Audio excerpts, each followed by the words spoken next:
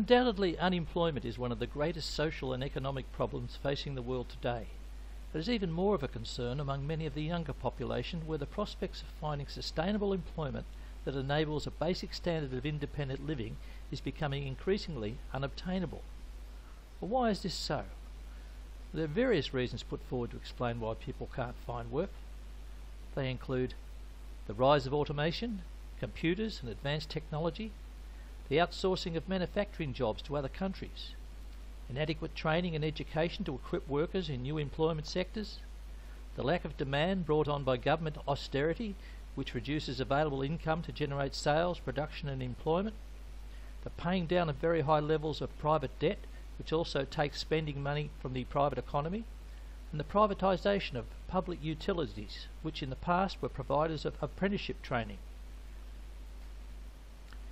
The social consequences of unemployment include poverty, crime, social isolation, depression, despair, relationship and family breakdowns, and social and political instability.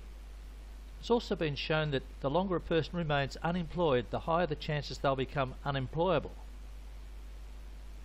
Sadly, the figures governments use to measure unemployment are nothing short of farcical.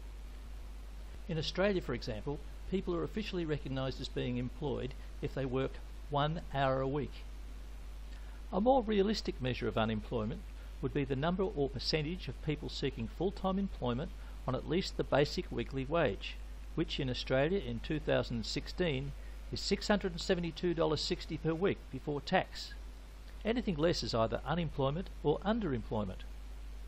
There'll always be, of course, frictional unemployment, which exists in any economy due to people being in the process of moving from one job to another.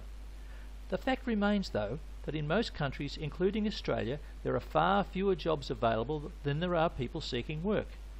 And most work that does become available is of a part-time nature and does not provide enough working hours or income to adequately compensate the vast pool of job seekers.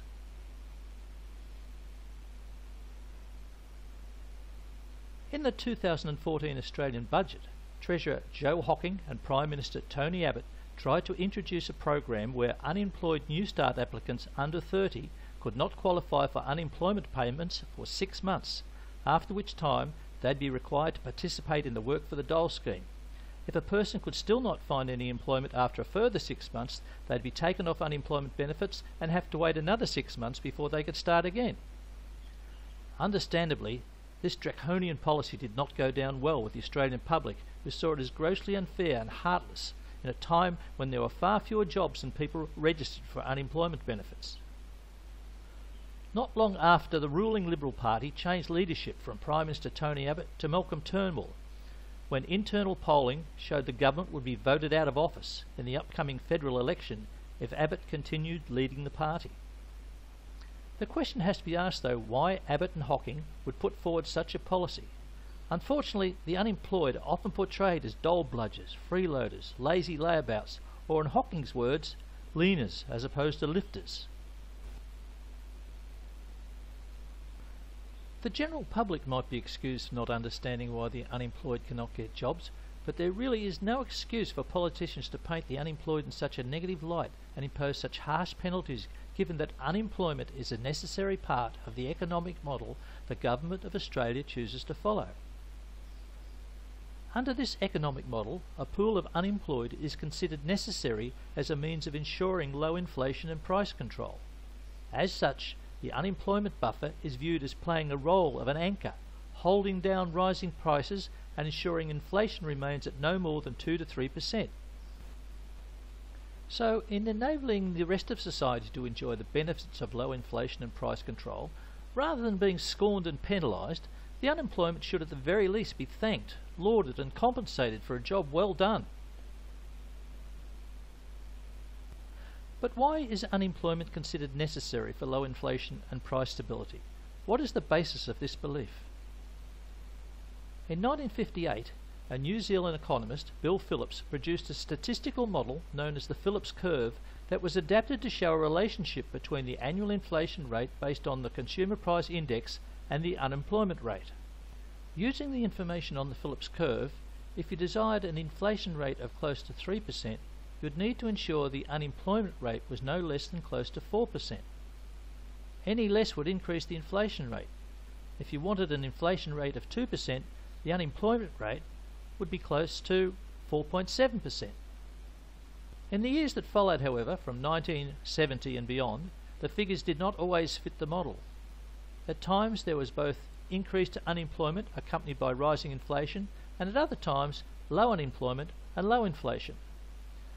One of the major critics of the Phillips curve was the economist Milton Friedman, who argued nevertheless that there was a natural rate of unemployment dependent upon the demand for labour and the growth in productivity. As a monetarist economist, Friedman believed that if you increase the amount of money in an economy, it loses its value and increases the likelihood of inflation. As well as a natural rate of unemployment to curb inflation, monetarists argue that wages must be low enough to ensure there is not too much money in circulation. This theory was the cornerstone of the economic policies of Prime Minister Margaret Thatcher in the UK and President Ronald Reagan in the US, a time of austerity and lagging wage growth. Mainstream economists now still for the most part accept that aggregate demand pressures will encourage rising inflation. The logic being that the more employed people there are, the greater demand for goods and services, which in turn leads to higher prices and inflation.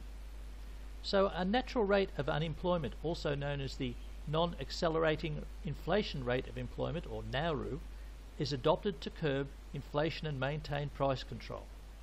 There does not seem, however, any real way of estimating what the NAIRU should be, so it has varied over time and is more like an intuitive estimate of what the level of unemployment should be. Note that under this economic model, unemployment is used to control inflation and not inflation used to control full employment. As such, low inflation is seen as a priority over low unemployment. The point does need to be stressed though. A level of unemployment is built into the economic model most governments choose to follow to ensure low inflation. The unemployed must to some extent be regarded as victims. Despite the commonly perceived notion of the unemployed as being lazy dole bludgers living off the income of hard-working taxpayers, most unemployed people desperately want work.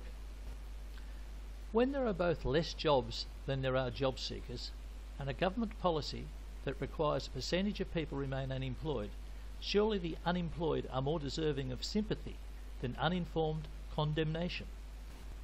To victimize and deny the unemployed a subsistence income not only shows a lack of understanding of the economic model we operate under, but a heartlessness not deserving of any politician who claims to represent the interests of the population as a whole.